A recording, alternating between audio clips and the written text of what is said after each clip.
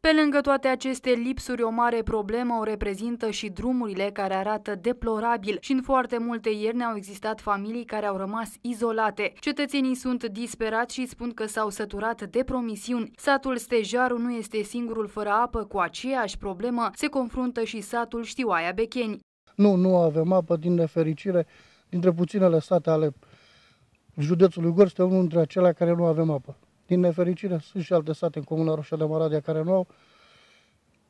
Nu știu care sunt cauzele, probabil că nu ne-am dat interesul cei care suntem acolo la freile comunei. Nu este nici apă, acum mai este puțină apă, că mai ploua din iarnă, dar la vara, în timpul secetii, umblăm cu vacile câte 2-3 km să le adăpăm. Nu, e, nu este nimic. Și cu drumurile astea ce faceți? Că sunt... Drumurile e dezastru. Vine primarul, pune câte o mașină de piatră, într-o noapte și o zi iar s-a lăsat o palmă.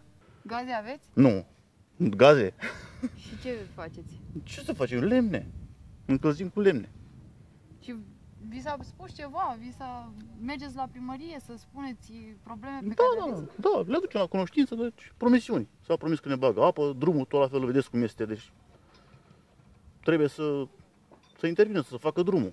Administrația locală promite că va rezolva problema apei din satul Stejaru. Primarul Liviu Cotoșman spune că a prevăzut bani în bugetul pe anul acesta să facă un puț pentru ca cele peste 50 de familii să poată să aibă apă. Cât despre reabilitarea drumurilor, canalizare și gaze, nu se amintește nimic. Uh, Și anul acesta mi-am propus să execut uh, lucrări de modernizare a drumului respectiv. O problemă principală prioritară în statul Stejaru e și aceea legată de lipsa apei. Motiv pentru care am hotărât ca în bugetul pe 2013 să aloc o sumă cât să acopere construirea unei surse de ape. E un izvor puternic în Izlaz, din satul Stejaru, acolo vom construi, așa am proiectat, vom construi un bazin și Câți oameni nu au apă? uh, cele 57 de gospodării uh, se confruntă cu această problemă. Mai